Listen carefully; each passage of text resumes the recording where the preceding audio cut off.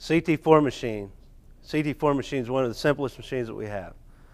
It's, it's air powered, 100% air powered. Um, one of the things that makes it super simple is we have one hose operation.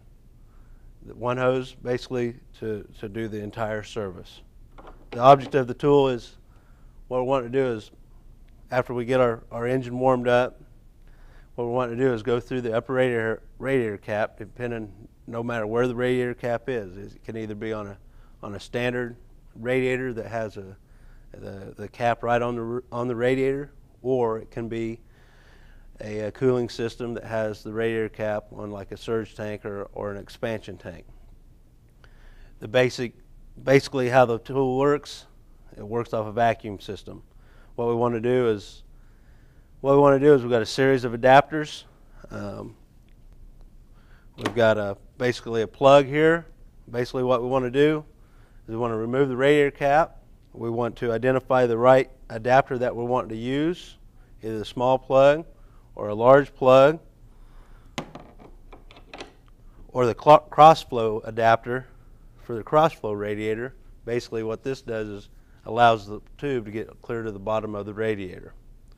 Basically after we get the right adapter onto the radiator cap, where the radiator cap was, basically what we want to do is we want to hook our, our, our hose up to that adapter. After we get hooked up to that adapter, what we're going to do is we're going to turn the machine on and pull a vacuum on the cooling system. We want to pull the vacuum on the cooling system when the engine is running and when it is at operating temperature. That's when you're going to get your best results. After we got our we got our adapter hooked up to the vehicle, we've got our hose hooked up to the vehicle, we're going to go ahead and go to extract, vacuum pump on. We don't we do not want to extract for more than 2 minutes. That's that's going to be our guideline. So we're going to we're going to do two one or two things. We're going to know that we're done vacuuming out of the vehicle by either one, watching our hose, and when we stop seeing fluid coming from the vehicle, or two, we get to the two minute mark, we're going to know that, that we're done with that stage of the service. At that point, we're going to have a vacuum on the cooling system on the vehicle. So what we'll do is we'll turn our vacuum pump off and we'll just go to vacuum return. The vacuum that's on the engine, the cooling system of the vehicle is basically going to pull the new fluid from our new, new coolant jug back into the vehicle. Just going to suck it right back in there. Um, after we're done doing after that, that should take the whole service should take a matter of you know three to four minutes with the machine. It's uh, fast, it's simple. One of the major issues we do have with the machine, the efficiencies of this machine is from 30 to 60, 60 to 70 percent, depending on the cooling system. Well, if you got one of the systems, you're, you're only getting 30 to 50 percent efficiency out of it. Obviously, you're not doing a very good service. So, the the reason we're not getting a very good service out of it is because if you think about it, if we can't, if we're not using a cross flow radiator, if we if we can't get this tube all the way to the bottom of the radiator to suck from the bottom of the radiator, then basically what we're doing is sucking from the top of the radiator with this adapter right there. If we're sucking from the top of the radiator, what happens is the only place that we're going to get any fluid out of that vehicle is where something is collapsing, and that's going to be your radiator hoses. And that's where you're going to get your worst efficiencies. Now, if you've got, you know, if, you, if you're doing a, a service and you see the fluid coming out and it's, it's it's black or, or, or brown or thick, that tells you that you might have to do the service more than once. Granted, the service, like I said before, the service only takes three to four minutes max. So you could do the service three or four times, how many times is necessary, to get a good efficiency out of it. When the service is complete, to top off the radiator, go ahead and go to fill, turn the fill pump on, turn the fill pump on, go ahead and fill your radiator, your reservoir up, your radiator, um, your uh, overflow. Go ahead and fill everything up, and you're done with the service. To start the CT4 service, CT4 machine runs off air, air powered. We want to make sure it's hooked to an air source. Next thing what we want to do is make sure that we've got enough room in our radiator for a flush. We see our coolant's all the way to the top of our of our radiator. So what we're going to do is we're going to pull some fluid out of there. That way we can get our cleaner into the system.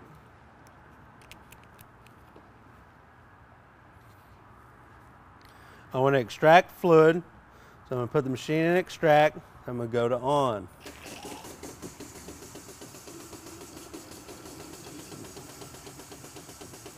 Full enough where I think that I can get my cleaner in there. That should be plenty.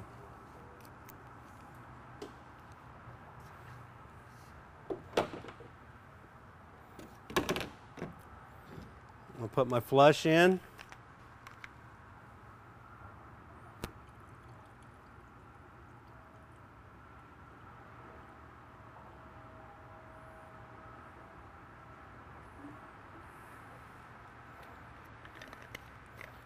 To start the vehicle.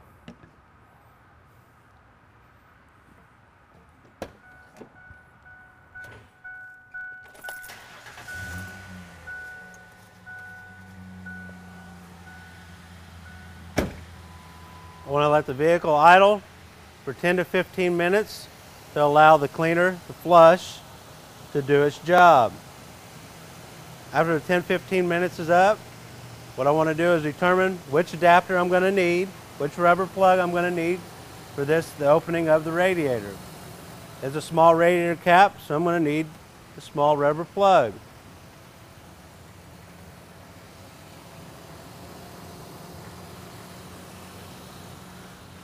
I'm going to hook my service wand, hook my service wand up to the radiator opening, take my service hose up to my service wand. Want to extract once again. And I'm going to go turn vacuum on.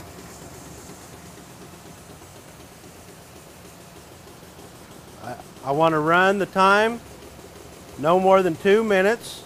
So at two minutes, I'll know that the extracting of the old coolant will be complete. I also know it's complete as if during the service or during the extraction process that we start, you know, stop getting fluid, old fluid coming out of the system. As we can see, we're getting air bubbles right now. So that's telling me that we're getting to the end of our extraction process already. We're going to go ahead and let it run to the two minute, two minute period to get as much fluid out of the vehicle as possible. We know that the service is working because the whole goal here is to pull a vacuum on the cooling system. You see the upper radiator hose has collapsed. That tells me that the that tells me that a vacuum is has been placed, is being placed on the cooling system.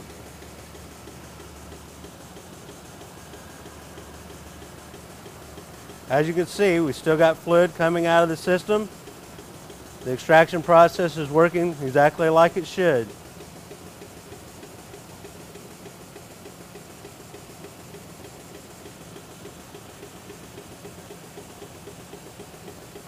We can see we're getting more, more bubbles, more time periods before fluid's actually flowing. One of the most important parts of this service is to make sure that the vehicle is at operating temperature before and while we're during the, doing the service. As you can see, we're about at the two minute mark and we've completed, we're not getting any more fluid out of the cooling system.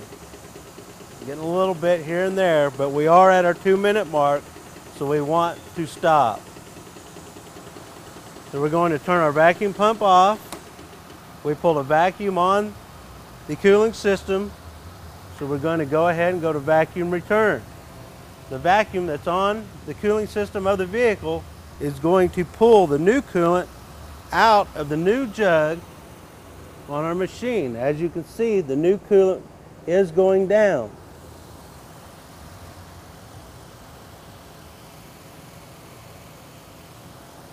As the new coolant's going down and as the vacuum on the cooling system is pulling the new coolant in, we're, we're losing the vacuum that we had on the system. One way we can tell that the system is getting full again we'll see the upper radiator hose start to expand.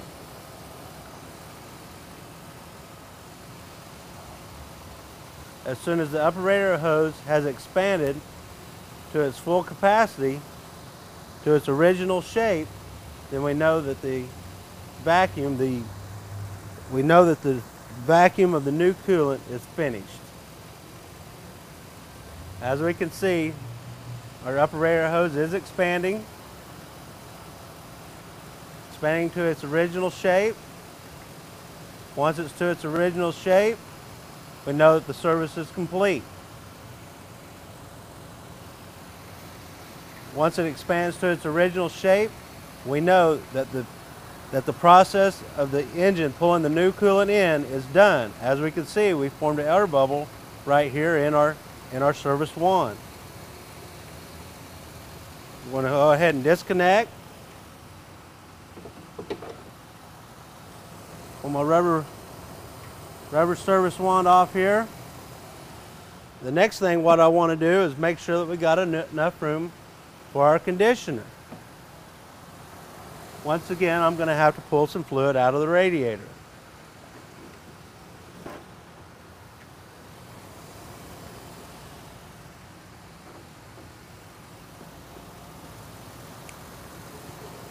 Pull some fluid out of the radiator. Once again, we want to go back to extract.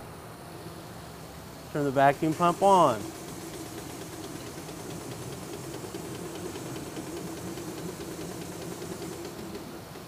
I'm satisfied that we've got enough room.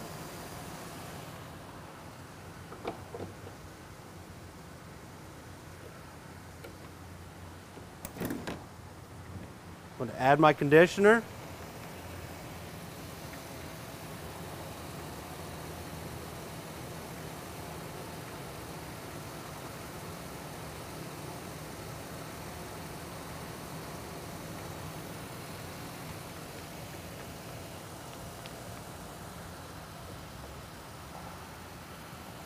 My radiator's full. I'm to go ahead and put my cap back on the system. And what I want to do is check my radiator coolant reservoir, my overflow reservoir.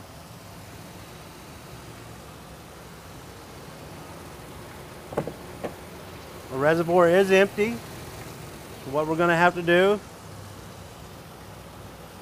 use our machine. We're going to go ahead and fill the reservoir.